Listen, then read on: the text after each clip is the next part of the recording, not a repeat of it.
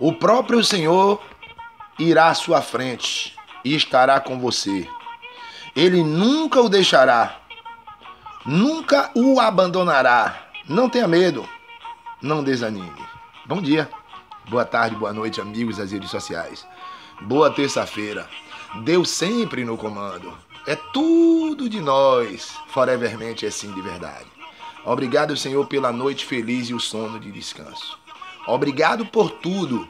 Continua conosco. Não nos abandone.